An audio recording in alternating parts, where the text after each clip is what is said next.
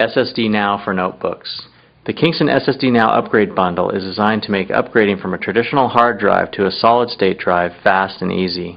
Before beginning installation, it is important to verify that the SSD provided in the kit is larger in capacity than the used space on the system hard drive you're replacing.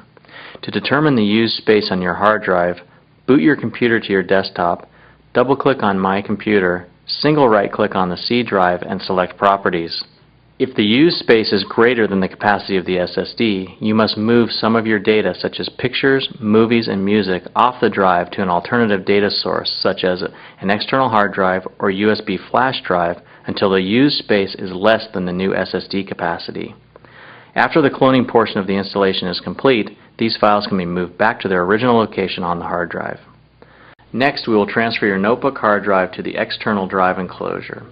Turn off the power to your computer disconnect the power source, and remove the battery pack from your notebook.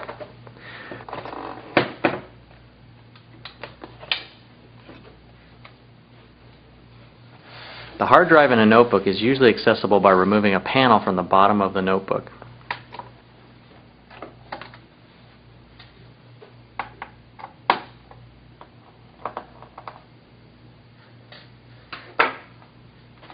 Remove the system hard drive from your notebook and disassemble the system drive bracket.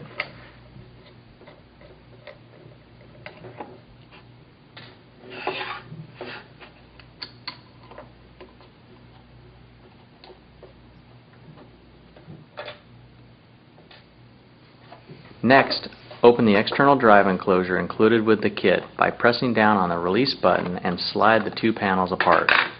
To assemble the system hard drive together with the external drive enclosure, align the pins of the hard drive to the SATA connector on the enclosure and push them together until the drive is securely in place. Then align the top and bottom panels of the enclosure and slide them together until they snap into place.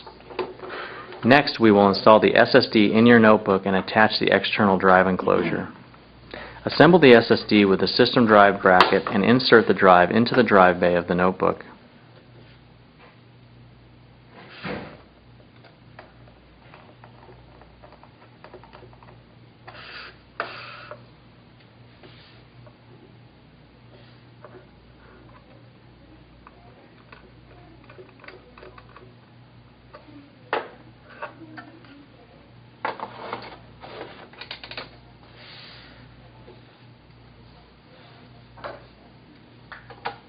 Okay, after you're done screwing in, um, remove the enclosure, or move the enclosure first to uh, more vertical, so we can fit the laptop in.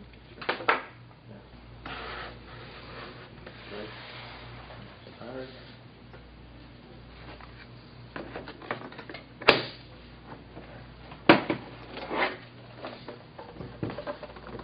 Using the USB cable provided in the kit, attach the system hard drive installed in the external drive enclosure to your notebook via any available USB port.